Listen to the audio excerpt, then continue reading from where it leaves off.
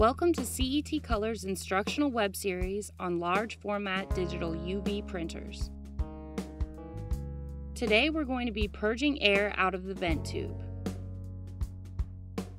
Remember to make sure the printer is turned on. Refer to our instructional video for powering on the printer. Purging air out of the vent tube is needed after flushing print heads, and it's also helpful to recover nozzles by expelling air. Set the negative pressure to negative 2.0 by adjusting the negative pressure valve counterclockwise. Remove the cap from the affected print head. Direct and hold the vent tube towards the waste tank. Press and hold down the yellow purge button until it reaches positive 16. While doing so, observe the flow of ink coming out of the vent tube.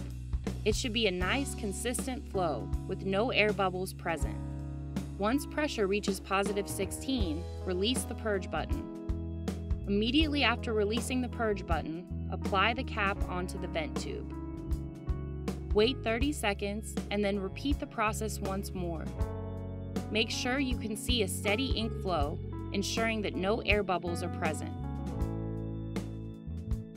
Return your negative pressure to what it was originally at. Use a new lint-free cloth to gently wipe any excess ink from the bottom of the printhead.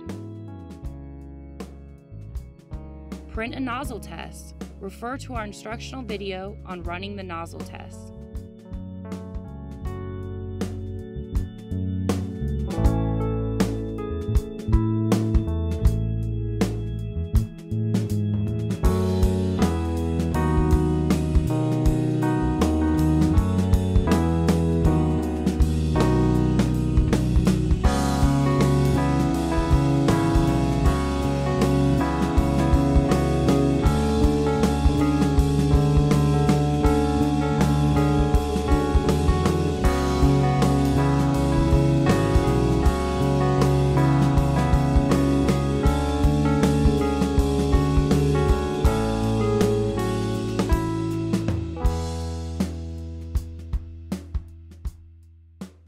And that's how to properly purge the air out of the vent tube on a CET color large format digital UV printer.